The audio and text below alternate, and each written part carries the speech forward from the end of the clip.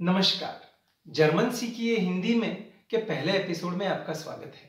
मैं केदार जाधव। मैं Munich Germany में रहता हूँ और मैं सेमीकंडक्टर इंडस्ट्री में डिज़ाइन इंजीनियर हूँ, पर मेरी असली पैशन है जर्मन सिखाना। जर्मन भाषा का जो सबसे कठिन और हाईएस्ट लेवल का सर्टिफिकेशन है गॉयथे इंस्टीट्यूट का सी वो मैंने कंप्लीट किया है। और पिछले चार वर्षों से मैं फ्री ऑफ़ कॉस्ट जर्मन सिखा रहा हूँ। इस दौरान मैंने 44 बैचेस में 1100 से ज़्यादा स्टूडेंट्स को जर्मन सिखाई है और उसमें से अनेक लोगों को गोयथे इंस्टीट्यूट की अनेक एग्ज़ाम्स में 100 परसेंट तक मार्क्स आए हैं। अभी ये चैनल शुरू करने के पीछे मेरे दो उद्देश्य हैं।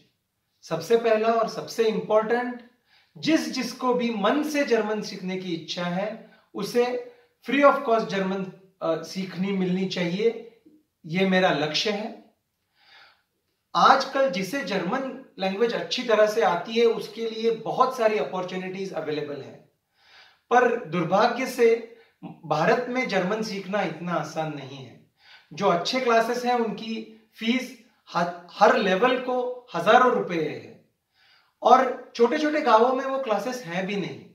दूसरी चीज़ जब हम जर्मन सीखते हैं, हम अंग्रेज़ी में सीखते हैं, और इसी के कारण बहुत सारे स्टूडेंट्स को कठिनाई होती है।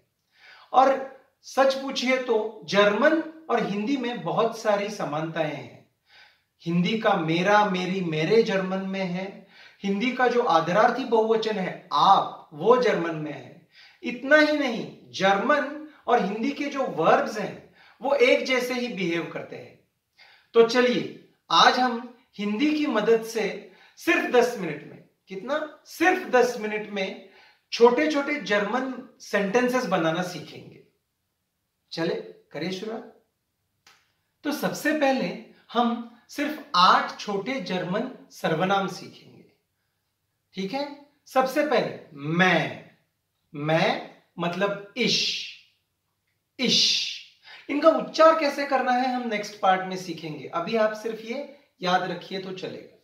मैं मतलब इश, तू मतलब दू, तू मतलब दू, ही ही इंग्लिश का मतलब एर एर, शी मतलब जी, शी मतलब जी, और एस एस मतलब इट, जो इंग्लिश का इट होता है वो जर्मन में होता है एस। ओके? एर, जी, एस। जब हमको हम बोलना है, हम, तब हम बोलेंगे वियर वी वियर जब हमको बोलना है तुम दोनों तुम दोनों, तब हम बोलेंगे ईयर ईयर और जब हमको वे लोग दे बोलना है तो हम फिर से बोलेंगे जी अभी आप बोलोगे, हमने तो जी मतलब शी सीखा है। तो वो कंटेक्स्ट बेस्ड होता है। जी मतलब शी भी होता है और जी मतलब दे भी होता है। जैसे इंग्लिश में हमने पढ़ा है यू आर केदार। जब यू आर केदार बोलते हो तो आपको पता है एक ही बंदा है। पर जब आप बोलते हो यू आर स्टूडेंट्स तो आपको कंटेक्स से पता चलता है बहुत सारे हैं। तो एक बार यू एक वचनी था और एक बार यू अनेक वचनी था। वैसे ही जैसे जैसे आप आगे जाओगे कंटेक्स से आपको समझ में आए। जैसे हिंदी में भी होता है राइट मैं कल आऊँगा तो आप समझ लेते हो कि भाई कल इज़ टुमारो और मैं कल आया था तो आप समझ लेते हो कि कल is yesterday even though both are कल। क्लियर है सबको? तो जी मतलब शी भी और जी मतलब दे भी। और अभी मैं आपको और एक कंसेप्ट सिखाने वाला हूँ, क्योंकि वो इंग्लिश में नहीं है, पर जर्मन और हिंदी में सेम है। वो है आप। देखो हिंदी में बोलते हैं तू और आप, आदर से। वो जो, वो भी जर्मन में है और वो है कैपिटल जी कैपिटल जी इज़ आप। तो देखो, मैं फिर से आपको, ये फिर से करता हूँ। थोड़ा इंग्लिश में से करता हूँ तो आपको आसानी होगी। अगेन अभी आपको अभी के अभी वो याद रखने की ज़रूरत नहीं है। ये सिर्फ़ हमको आगे लगने वाले हैं, इसलिए हम कर रहे हैं। चलेगा? इश आय दू, यू, एर, जी, एस, ही, शी, इट वी, विय, वी ईयर यू ऑल, जी, छोटा जी, अगेन, दे और कैपिटल जी मतलब उसके लिए इंग्लिश वर्ड नहीं है, आप, आदर से, आप। क्लियर है सबको?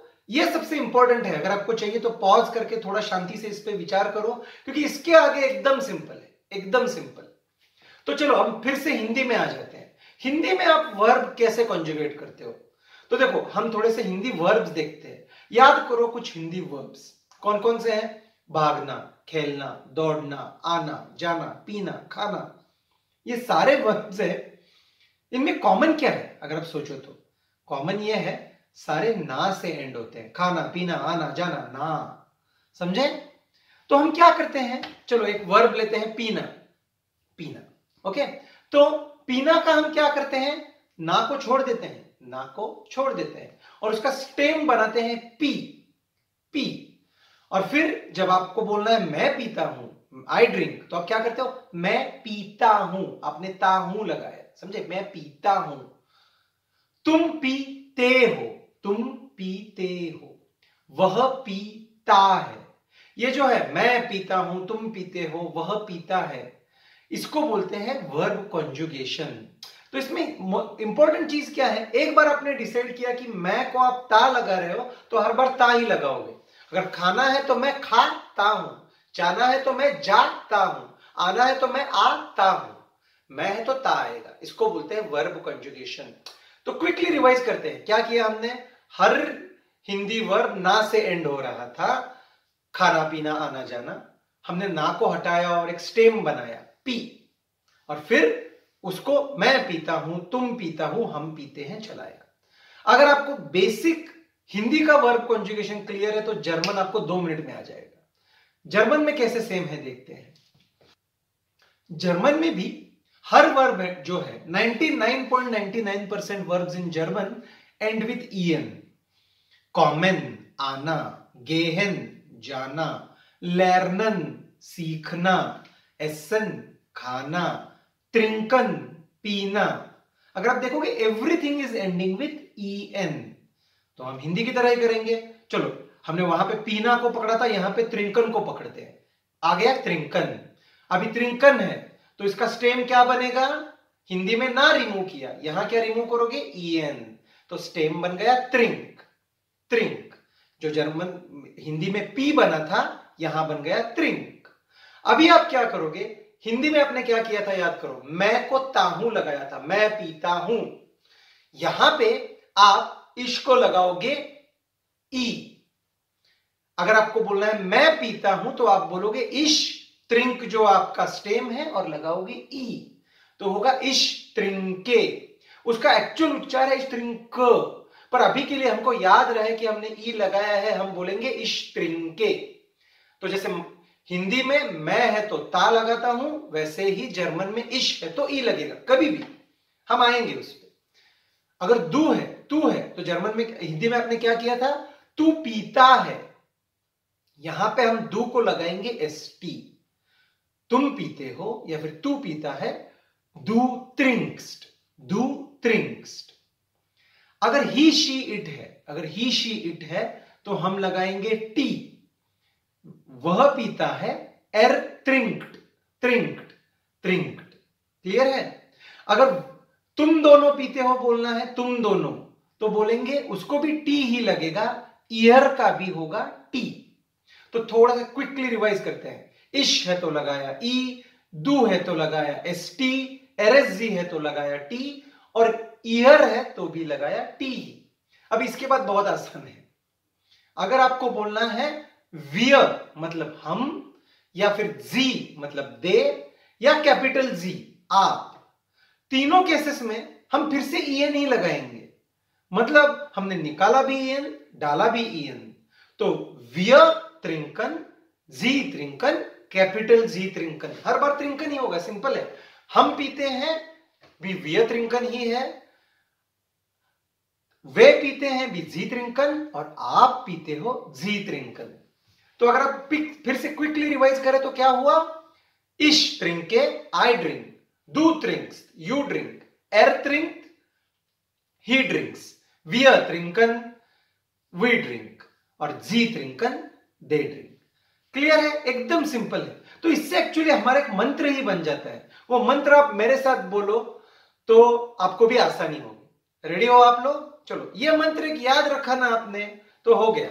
बोलो मेरे साथ। इश त्रिंक, दू त्रिंक्स्ट एरेजी त्रिंक्ट, इय त्रिंक्ट, विय त्रिंकन, जी जी त्रिंकन। सिंपल है राइट अब इसका यूज़ करते हैं तो आपको एकदम इजी लगेगा। अभी देखो जर्मन इज़ लाइक जर्मन कैसे है? यूरोपियन लैंग्वेज है। तो सारी भारतीय भाषाएँ देखो, बहुत सारी जो है, उनमें क्या होता है? वर्ब हमेशा एंड में आता है। मैं क्रिकेट खेलता हूँ, मी क्रिकेट खेलतो। इसमें वर्ब कहाँ है? एंड में। वैसे ही यूरोपियन भाषाओं में सेकेंड पोजीशन में होता है। जैसे इंग्लिश में I drink tea I drink tea मैं खुद स्पेनिश और इटालियन भी सीखता हूँ। स्पेनिश में होता है यो बेवोटे यो बेवोटे सेकेंड पोजीशन पे वर्ब आएगा। वैसे ही जर्मन में भी सेकेंड पोजीशन पे वर्ब और बाकी सब। जैसे इंग्लिश में आई ड्रिंक टी वैसे जर्मन में क्या होगा? आई को क्या बोलते हैं? इश इश और ड्रिंक को क्या बोलते हैं? त्रिंकन पर इश है तो ट्रिंकन में से ईयन हटेगा। लगेगा क्या? ई इश त्रिंक टी। तो चलो, हम सब क्या करते हैं कि पेप्सी पी के देखते हैं, क्योंकि पेप्सी क्यों पकड़ना? क्योंकि पेप्सी का हमको जर्मन वर्ब सीखने की ज़रूरत नहीं है। तो देखो, मैं पेप्सी पीता हूँ, इश ट्रिंके Pepsi. You drink Pepsi, EN हटेगा एस टी लगेगा। दू ड्रिंक्स पेप्सी। वी ड्रिंक पेप्सी, वियर त्रिंकन पेप्सी। वो लोग पेप्सी पीते हैं, जी त्रिंकन पेप्सी। क्लियर है? पिज्जा खा लेते हैं, चलो। आई ईट पिज्जा इश एस पिज्जा या फिर हम क्या करते हैं अभी कि हम क्रिकेट खेल लेते हैं। ओके? क्रिकेट कैसे खेलते हैं? क्रिकेट खेलना को बोलते हैं स्पीलन स्पीलन। तो उसका मूल धातु क्या बनेगा? स्पील स्पील। ओके? इश है तो ई, दू है तो S T. I play cricket इश स्पील क्रिकेट यू प्ले क्रिकेट, दू स्पील्स क्रिकेट। वी प्ले क्रिकेट वी स्पीलन क्रिकेट। अगर हमको हिंदी सीखनी है, हिंदी सीखनी है, सीखने के लिए क्या वर्ब है? लर्नन इंग्लिश की तरह ही है ना? लर्नन अगेन मूल मूल रूप क्या बनेगा? मूल धातु स्टेम लर्न लर्न मैं सीखता हूँ हिंदी, इश लर्न हिंदी। तुम सीखते हो हिंदी डू लर्न हिंदी। हम सब सीखते हैं हिंदी वियर लर्नन हिंदी। एकदम सिंपल है राइट एक बार आपको मंत्र आ गया तो एकदम सिंपल है। हिंदी में जैसे, देखो, याद करो, जैसे हमने हिंदी में किया था, क्या किया? दिखा वर्ब पकड़ो उसको, उसमें से ना हटाओ, और मैं है तो ता हूँ, तुम हो तो ते हो, सब लगाओ, सिंपली। पीना है तो मैं पीता हूँ, खाना है मैं खाता हूँ। जर्मन में भी वही करो दिखा वर पकड़ो, ईएन को रिमूव करो, स्टेम बनाओ, इश है तो ई लगाओ, दू है तो एस टी लगाओ, वी है तो ईएन लगाओ। सिंपल है? अभी मैं अभी कैसे है कि हर भाषा में कुछ लोग ऐसे होते हैं या कुछ चीज़ें ऐसी होती है जो रूल्स फॉलो नहीं करती। जिनको बोलते हैं इरेग्युलर वर्ब्स इसमें भी ऐसे कुछ वर्ब्स हैं जो ये मानते नहीं। पर वो जैसे जैसे हम आगे जाएँगे, तब हम सीखेंगे। अभी more than 90 percent of German verbs follow this rule तो हम क्या करेंगे? हम ये रेगुलर रूल सीखेंगे और अभी भी जो दिखे उसको हम ये रूल करते जाएँगे। क्लियर है सबको? अभी मैं आपको एक ट्रिक देता हूँ, मैं आपको एक ट्रिक देता हूँ। आप सबको स्क्रीन पे थर्टी वर्ब दिख रहे होंगे। ये जो थर्टी वर्ब्स हैं, ये आपके डे टू डे लाइफ में लगने वाले सबसे इंपॉर्टेंट थर्टी वर्ब्स हैं। जैसे कॉमन आना, गेहन, जाना लर्नन पढ़ना एसन खाना त्रिंकन पीना। आपको क्या करना है? ये वर्ब से हर रोज आपको सिर्फ़ पाँच पाँच सेंटेंस बनाने हैं। कितने? पाँच। देखो, मैंने बोला था, मैंने आज तक 44 बार यही पढ़ाया है। 44 बार, आपको ये मैं फोर्टी फिफ्थ बार पढ़ा रहा हूँ। हर बार मैं बोलता हूँ, जो कोई जो कोई, ध्यान से सुनो, जो कोई हर रोज सिर्फ़ पाँच सेंटेंस बनाएगा, तीन महीने में वो फाड़ फाड़ जर्मन बोलने लगेगा। अभी इंपॉर्टेंट चीज़ क्या है? रोज। कंसिस्टेंसी इज़ इंपॉर्टेंट देखो जैसे जैसे हम आगे जाएँगे सेंटेंस कॉम्प्लेक्स बनाते जाएँगे, पर सिर्फ़ आप एक नोटबुक लो, हर रोज पाँच नए सेंटेंस लिखते जाओ, आपका हो गया। अभी कैसे है? अभी आपका प्रॉब्लम क्या है? थोड़ा लिमिटेशन क्या है? देखो, हम दस मिनट से सिर्फ़ जर्मन सीख रहे हैं राइट तो अभी हमको सिर्फ़ इश, डू, एरस, जी, सर्वनाम आते हैं और गेहन, कॉमेन आता है। तो अभी आप क्या करोगे?